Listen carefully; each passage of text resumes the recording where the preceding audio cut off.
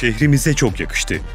Antalya'da gençler sporla büyüsün, geleceğin sultanları, efeleri, dev adamları büyük şehir güvencesinde yetişsin diye Muratpaşa'da modern bir spor kompleksi açtık.